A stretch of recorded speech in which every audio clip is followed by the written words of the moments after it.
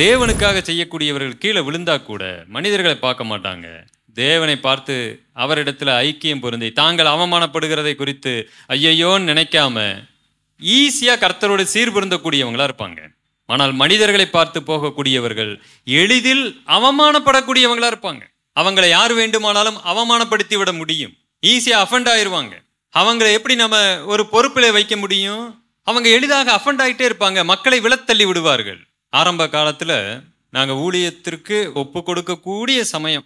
அந்த சமயத்தில் பல இடங்களில் என்னை செய்தி கூப்பிட்டுட்டு இருந்தாங்க. நான் அங்கெங்கேயும் போயிட்டு இருந்தேன் நான். அப்போ நிறைய இடங்களில் செய்திக்கு போகும்பொழுது சில அனுபவங்களை பெற்றுக்கொண்டேன். அதை என்னுடைய வாழ்க்கையில் நிறைய இடங்களில் நான் பயன்படுத்தினேன். என்ன அப்படின்னா ஈஸிலி அஃபண்டட் ஒருவர் எளிதாக இடரல் அடையக்கூடியவராக இருக்கிறதை நான் கண்டேன்.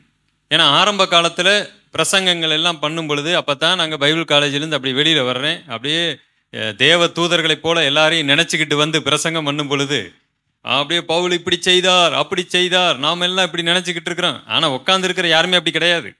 நாம் ஆனால் யாருக்கு பேசிக்கிட்டு இருக்கிறோம்? ஏசு கிறிஸ்துவுக்கே பிரசங்கம் பண்ணுங்கிற மாதிரி உட்காந்து பேசும் பொழுது இவங்க என்ன அஃபண்ட் ஆயிடுறாங்க.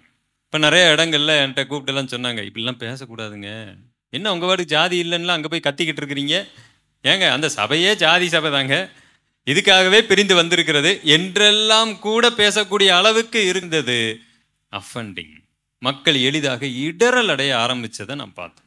ஏன் அப்படின்னா எல்லாத்துக்கு காரணம் மக்கள். சுத்தியில இருக்கிறவங்களை நாம் பிரியப்படுத்தி கொண்டே இருக்கிறோம்.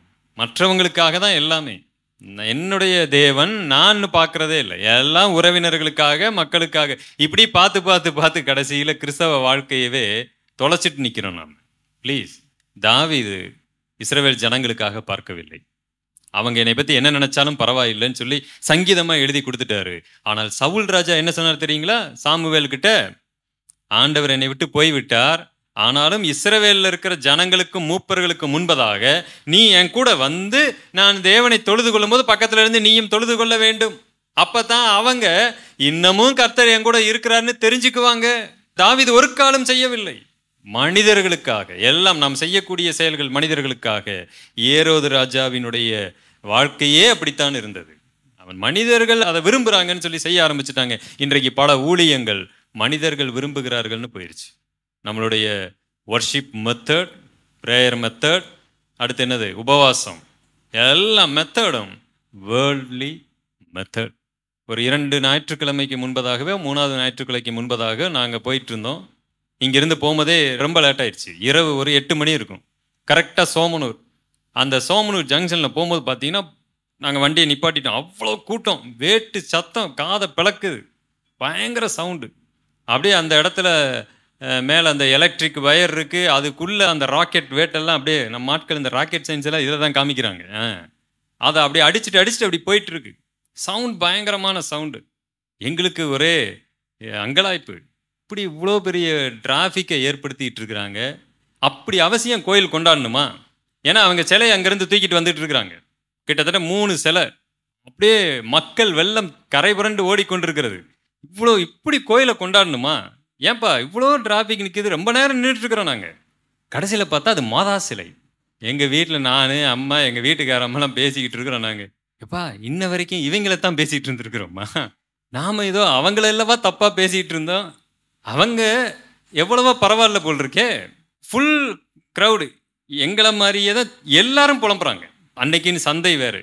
அந்த சோமனூரில் பார்த்தீங்கன்னா கரெக்டாக சண்டே சந்தை ஈவினிங் எல்லாம். எல்லாம் புலம்பல் முனகல் எல்லாருக்கும் எப்படி இருக்கும்? தப்பி தவறி கூட இந்த இடத்துக்கு போயிடக்கூடாதுன்னு இருக்கும். இடையூறு. ஆனால் நாம் என்ன நினச்சிக்கிட்டு இருக்கோம்? கர்த்தருக்கு அது மகிமைன்னு தூக்கிட்டு போயிட்டு இருக்கிறோம். இடையூறு அது. கே கேடு. ஒரு இதை அப்படியே அடாப்ட் பண்ணுறோம் ஒரு சமூகத்தில் ஒருத்தவங்க அப்படி தூக்கிக்கிட்டு போயிட்டு இருந்தாங்கன்னா நானும் அதை அடாப்ட் பண்ணுவேன். நானும் அப்படி செய்வேன். நானும் என் தேவனை வேட்டை போட்டு என்ன பண்ணுவேன்? காண்பிப்பேன். அது என்ன அடுத்தவன் மேலே விழுந்தாலும் அதை பற்றி எங்களுக்கு கவலை இல்லை. எந்த சமுதாய அக்கறை இல்லை. அர்ப்பணிப்பு இல்லை அக்கறை இல்லை. அவங்க அதை செய்யட்டுங்க. மற்றவங்க செய்யட்டும். அவர்களுக்கு சமுதாயத்தை குறித்து அக்கறை கிடையாது. அவங்க ரோட்டை தோண்டுவாங்க நடுவில் கொடியை வைப்பாங்க அவங்க டேமேஜ் பண்ணுவாங்க என்ன வேணாலும் செய்வாங்க. கூட்டத்தை கூட்டுவார்கள் ரோட்ல ஒரு கர்ப்பிணி பெண் கூட ஹாஸ்பிட்டலுக்கு போக விடாம என்ன பண்ணுவாங்க? தடுத்து அந்த கூட்டத்தை வைத்து கொண்டு இருப்பார்கள் என்ன வித்தியாசம் எனக்கு அவங்களுக்கும்? ஏன் அவங்க பழக்கத்தை நான் அடாப்ட் பண்ணணும்? வை உங்க சபையில ஒரு சிலருக்கு பிடித்திருக்குங்கிறதற்காக நாம் அதை செய்ய முடியுமா? ஊழியங்கள் மக்களை திருப்திப்படுத்தும்படியாக மாறிவிட்டது. மாத்திக்கணும் நாம். We should not